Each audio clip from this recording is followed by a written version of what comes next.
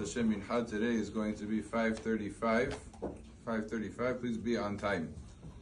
The Devar Halacha, the month of Nisan, we'll talk about the Halachot of Pesach, and in the month of Nisan, we do not say Tachanun. We don't say Vidui or Nechilat Apayim, Ana.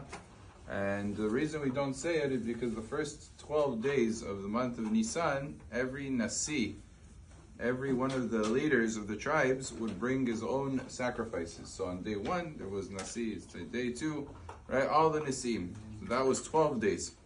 After the 12 days of the Korbanot of the Nisim, there was Isru Chag, which was the day that sort of um, culminated all of the Korbanot. And that was the 13th day of Nisan, which is also a day of celebration. The 14th of Nisan is, of course, Erev Pesach, where we bring the Korban Pesach. That's another holiday. And the 15th of Nisan is Pesach itself, when you eat the Korban Pesach and when you have the Agadash of Pesach. So the 15th was itself a holiday up until the 21st. That's seven days, right? So that takes us from already the 1st till the 21st. The 22nd is Isru Chag of Pesach.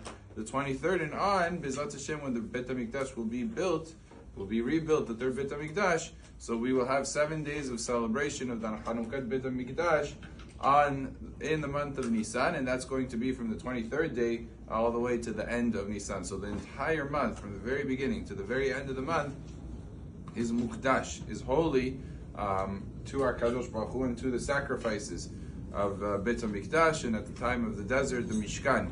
And since that is the case, therefore, it's a time where it's a Yom Tov, inherently it's an important day, as uh, the Torah itself say, says, Rosh Chodashim, that the entire month has the sort of element of Rosh Chodesh. You know, usually Rosh Chodesh is one day. This this is a month of Rosh Chodesh. Why? Because it's the beginning of the year.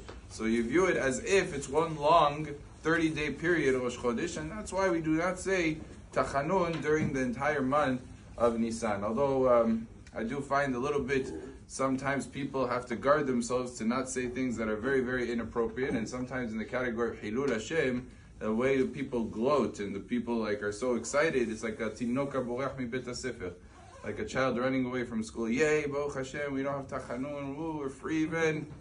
it's, uh, it's unfortunate and it's actually chilul Hashem. Because what that says is uh, the Torah of HaKadosh Baruch Hu to me is, I'd rather not have it. And what does that do to other people? That influences their perspective as well. And there's no uh, greater Hilul Hashem than to bring other Jews' perspective about Torah and mitzvot down. So a person has to be very careful with the words that he says and even the tone that he speaks about certain things. Uh, a person should watch and if he, he should call it out. If you hear someone saying something uh, inappropriate on this field, and to say he's so excited, he says it's not really right that you're excited about that. You should be excited about the fact that it's a Yom Tov. But it shouldn't be that the Yom Tov is only because we're not saying Tachanun. That, well, that's what makes the Yom Tov for some people.